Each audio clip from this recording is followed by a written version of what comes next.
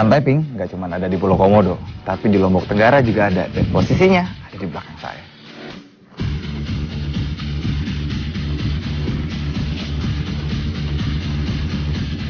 Kondisi di Pantai Pink ini sayangnya sedikit kotor dengan adanya warung-warung di pinggir pantai. Sayang banget ya.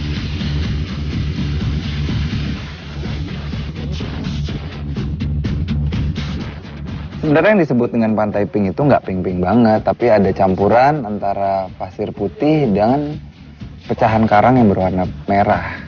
Jadi ya putih dicampur sama merah jadinya pink. Dan ini hari ini nggak kelihatan banget warna pinknya karena emang kita membutuhkan matahari untuk bisa membuat mereka jadi terlihat warna pinknya nyala. Tapi ya berhubung saya ada di sini, kita ambil aja ya buat kenang-kenangan. Oke, saya sudah dapat pasir dari Pantai Pink. Nah di Lombok Timur ini sebenarnya ada tiga Pantai Pink. Yang ini adalah namanya Pantai Pangsi, terus ada lagi namanya Pantai Segui, dan satu lagi namanya Pantai Pink 3. Belum dikasih nama lokal. Tapi coba kalian yang cariin buat saya.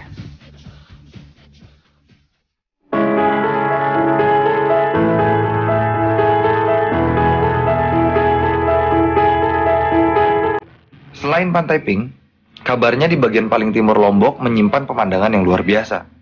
Jadi, tunggu apa lagi?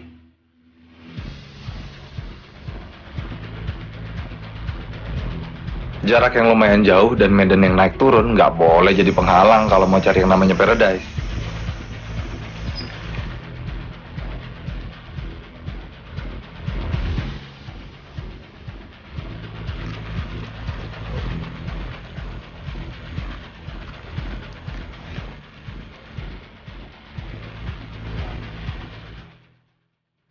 Artinya bentar lagi kita mau sampai nih. Bentar lagi ya.